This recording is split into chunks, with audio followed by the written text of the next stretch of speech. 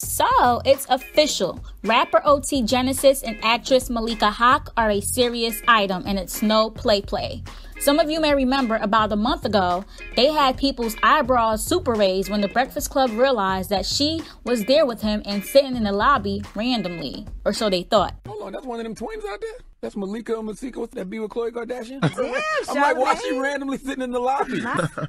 That's your.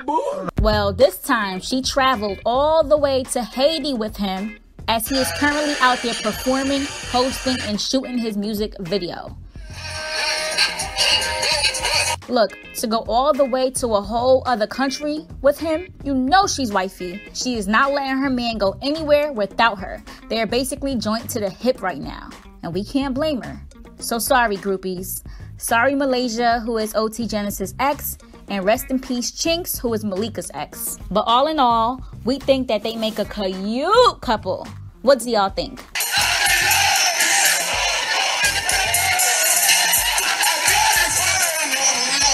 Leave your thoughts below and don't forget to like, share, and subscribe to this channel for more. Also, be sure to like and follow us at facebook.com slash petteablog. And don't forget to hit that bell to join the notification gang. petteablog.com signing off.